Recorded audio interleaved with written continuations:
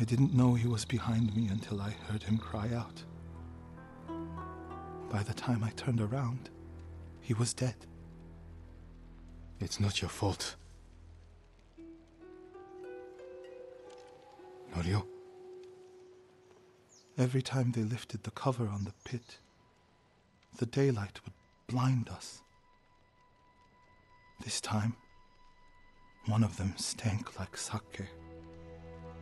I felt their hands pull me up, but my brother threw himself at them. He was starving, wounded, but he fought them.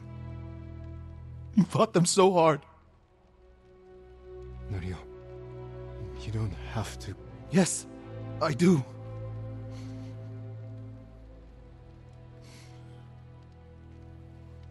They gave up on me and took Enjo. They took my brother.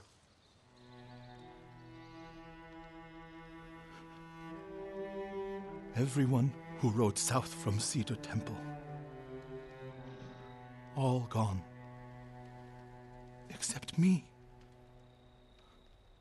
They deserve to live. I'm the one who should be dead.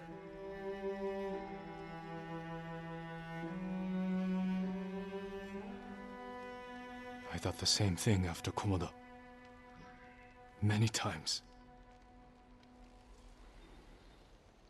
I don't know why we survived, Norio. But we did. And these people are counting on us. We're all they have. The people of Akashima are alive because of you. Don't forget that. Because they won't.